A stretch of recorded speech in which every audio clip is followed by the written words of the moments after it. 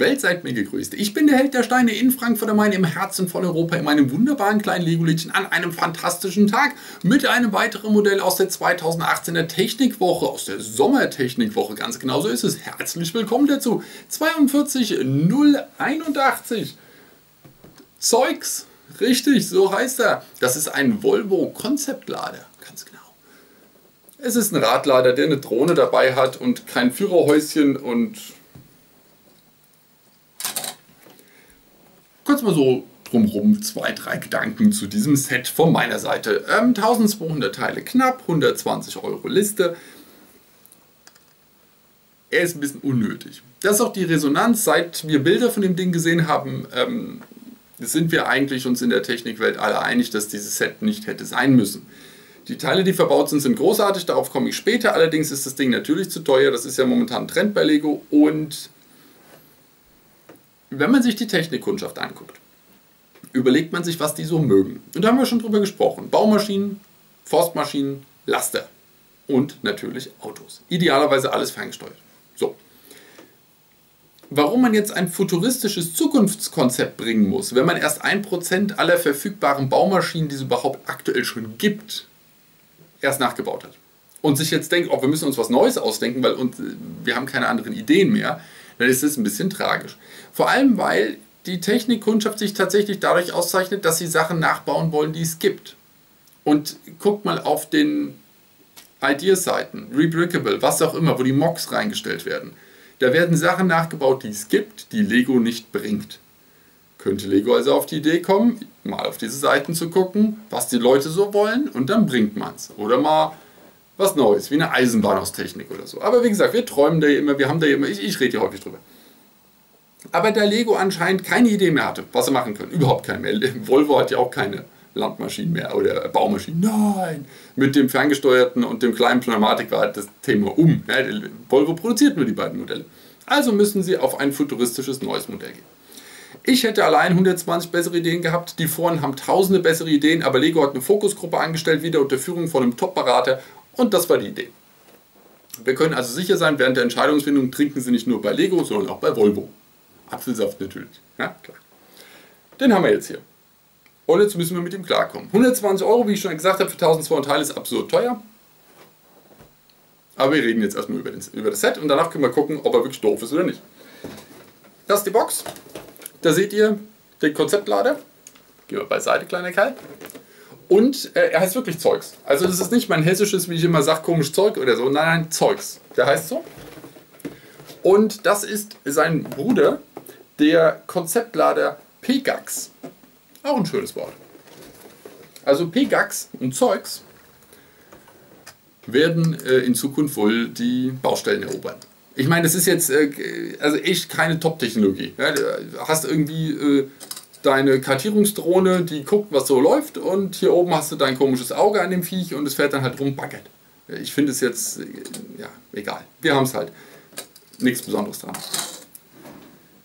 Ich zeige euch mal kurz die Funktion und äh, dann geht's los. Die sind schnell gezeigt. Er hat eine Lenkung. Diese Lenkung äh, läuft auf beiden Achsen vollkommen klar. Der Wendekreis ist für ein Technikmodell absolut in Ordnung. Klar, auf der Baustelle sollte noch wendiger sein, aber völlig in Ordnung. Es geht alles. Äh, die Lenkung ist auch äh, simpel gemacht, aber absolut fein. Auf der einen Seite ein langes Gearrack, auf der anderen Seite ein kurzes. Das ist einfach auf den Kopf gestellt, damit die gegenläufige Lenkung funktioniert. Überhaupt kein Thema. Die haben eine ganz schöne Absicherung gemacht, wenn man die Lenkung baut, hat man oben das Gear Rack und in der zweiten Ebene drunter laufen nochmal Liftarme mit, die in der Mitte nochmal einen Konnektor haben, mit dem die ein bisschen mehr geführt werden. Ja, ist sehr stabil. Lenkung funktioniert wunderbar leicht, überhaupt kein Widerstand, aber es sind halt auch nur 1200 Teile drauf. Ja, und es ist ein super leichtes Set. Also von daher, klar hat die Lenkung keinen Schmerz. Also funktioniert gut. Jetzt kommen wir mal zu vier kleinen Zahnrädchen. Und leider haben sie die ganz kleinen Zahnräderchen genommen, wodurch das natürlich von der Übersetzung her ein bisschen fuddelig ist. Und der Werbetexter, der war ein Genie. Der hat, also Zierde seiner Zunft, nämlich geschrieben, dass man die Schaufel, das ist die vom 4230er, wisst ihr, oh Gott, ich werde in dem Set wahrscheinlich viele Nummern runterrasseln, weil es Technik ist. Ihr wisst, unter meinen Videos liste ich alle Nummern auf, könnt ihr anklicken, kriegt ihr ein Bild dazu bei Amazon diese Schaufel 42030 und der Arm dazu. Und der Werbetext hat festgestellt, man kann hier kurbeln und dann bewegt sich die Schaufel. Oder man kurbelt hier eins weiter unten und dann ähm, geht äh, da. Ah, ich mir auch doof, jetzt bin ich hier hinten. Hier ist noch eine kleine dazwischen. Es sind zu viele kleine Zahnräder. Es sind auf beiden Seiten übrigens immer. Und dann geht hier der Ausleger hoch. Ja? Also das hier oder so. Und jetzt hat er festgestellt, und wie gesagt, der muss Hilfe gehabt haben. Wenn man zwei Hände besitzt, dann kann man gleichzeitig den Arm bewegen und die Schaufel. Knaller, oder? Erzählt euren Freunden davon. Ist der absolute Knaller. So, dann haben wir hier unten noch dieses, an dem ich eben fälschlicherweise gedreht habe. Damit wird hier nochmal ein Aktuator betätigt, der das ganze Ding nochmal ein bisschen tiefer legt und den Winkel verändert zum Buddeln. Kann man hier so schön aufbocken, dann wird der äh, Radstand kürzer, ist er noch viel wendiger auf der Baustelle. Das wird ein Traum. Ja, so. Also, jetzt guckt euch ein bisschen rum. Ja, funktioniert. Dazu haben wir hier noch die letzte Kurbel und die ist dafür da, das mache ich jetzt auch mal, damit wir nämlich dann die maximale Länge von dem Ding nochmal haben. Ich kurbel den nochmal runter. Das ist das Gegengewicht, wenn du hart geladen hast. Ja? Viel Apfelsaft zum Beispiel. Na, komm her. Übersetzung ist eher länger. So. Und dann gucken wir doch mal, was du für eine gesamte. Ach, jetzt den doch eigentlich auch noch runterkurbeln, oder? Da holen wir auch noch einen halben Zentimeter raus. So, auch noch ein bisschen. So, also. Mehr, mehr jetzt, auf mehr habe ich vor allem keine Lust.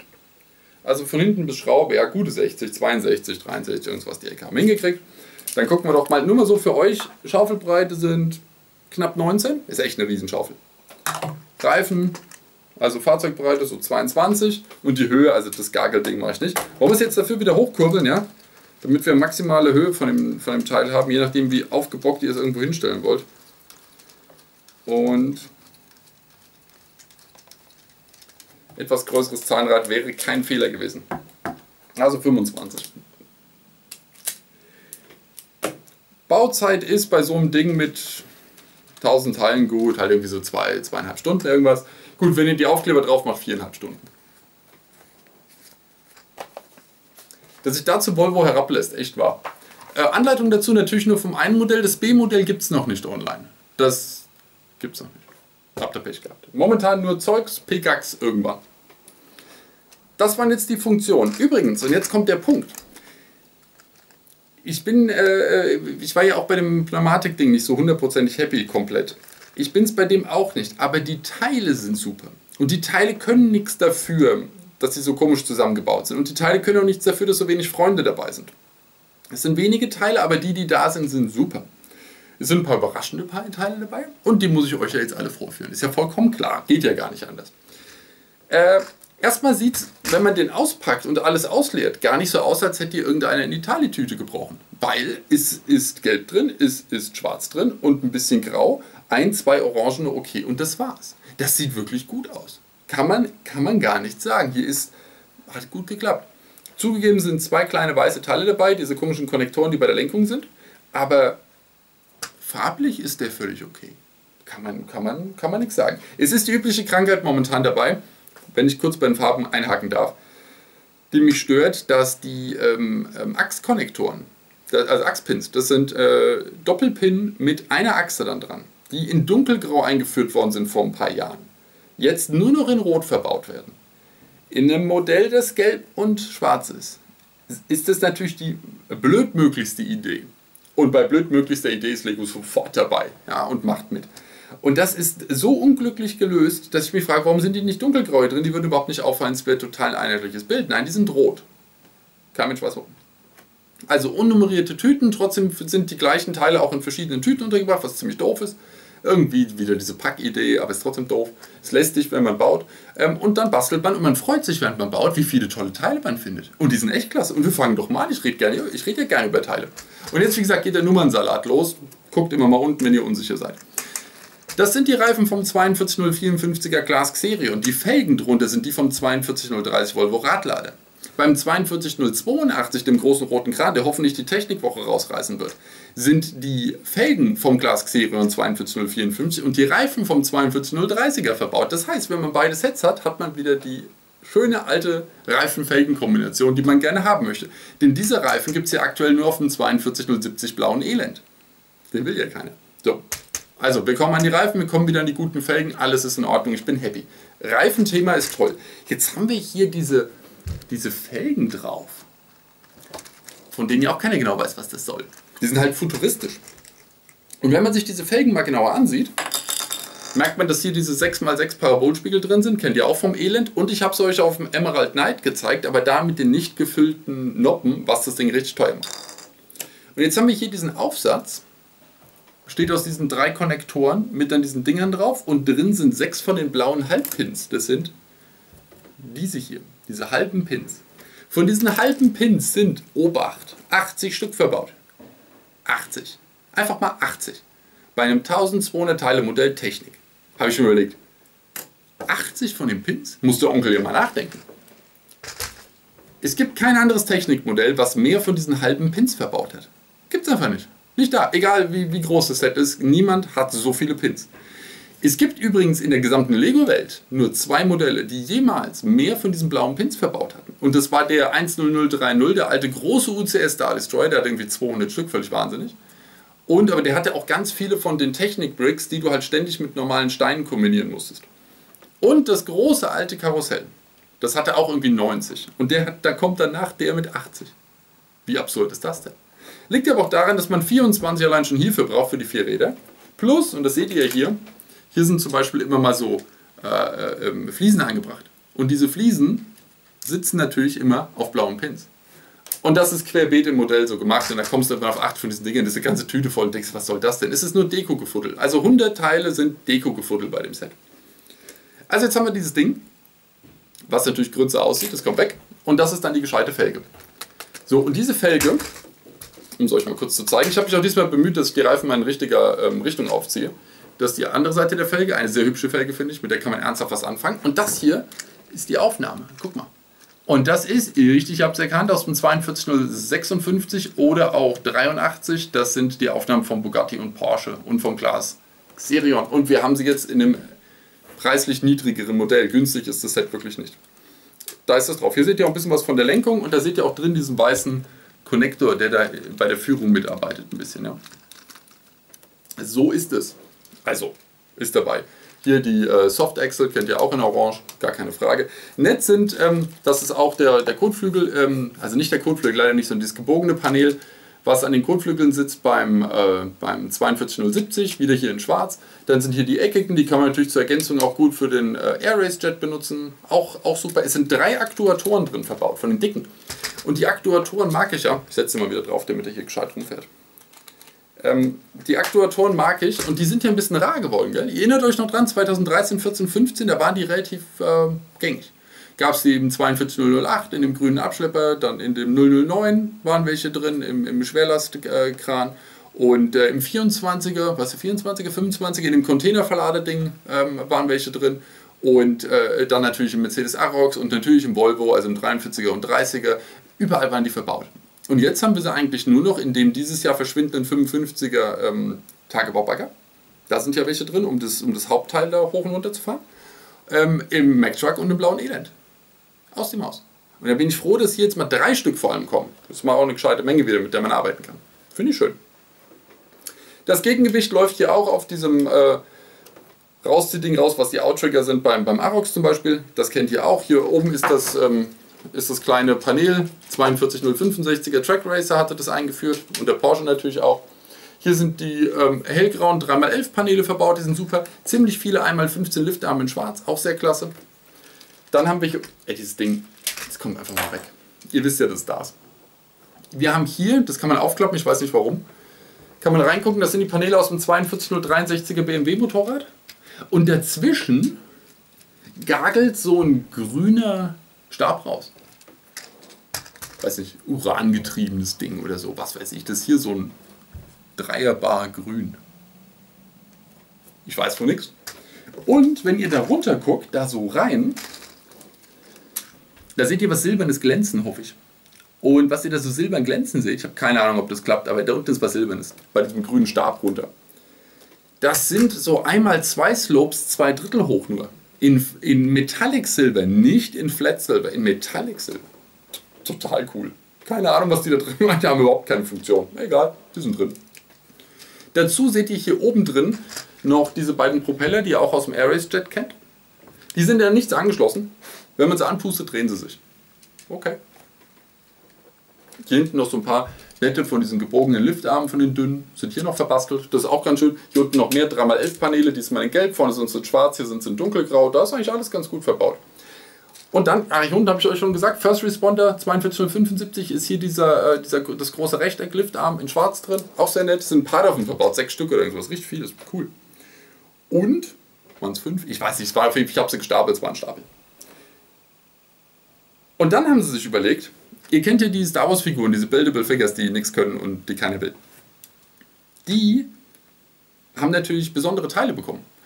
Und wenn man aber diese Figuren nicht herstellt, weil sie keiner will, dann bleiben halt diese Teile übrig. Ich habe mir überlegt, was machen wir mit diesen Teilen? Zum Beispiel hier in diesem Drohnenarm, ist ja, was weiß ich, ist nicht der Drohnenarm, der zum Gucken halt sehr wurscht, ist dieses Teil hier dran. Das hat hier eine Achsaufnahme und auf der anderen Seite auch eine Achsaufnahme. Jetzt fragt man sich ja, Onkel, aber so Konnektoren haben wir doch schon mit Achsen auf beiden Seiten. Mhm. Und die machen genau das Gleiche. Mhm. Und die sehen genauso aus. Mhm, eigentlich schon. Da haben wir den und wir haben hier unten, hier und hier, auch nochmal zwei. Und jetzt jammert hier Lego immer und sagt, dass das alles so teuer ist. Oh, ist alles so teuer. Ah, Mann, Mann, Mann. Äh, dass wir überhaupt als Firma überleben können, wir müssen die Sets noch ein bisschen teurer machen. Und die Formen, auch die Formen sind so teuer. Jetzt kann man sich gar nicht vorstellen, wie teuer die Formen sind. Und dann produzieren wir so ein Teil, was du für nichts brauchst. Und haust mir das in meinen Techniklader rein. Wozu denn? Einfach wozu? Und übrigens, wenn ihr dieses Teil cooler findet als das Konnektorteil, was es von Technik schon gibt, dann äh, sucht es bitte nicht bei Technik-Konnektoren. Das ist kein Technik-Konnektor, das ist bei Bricklink läuft es unter ähm, äh, Bodypart von Figuren, weil das ja zu den Figuren gehört eigentlich, ja?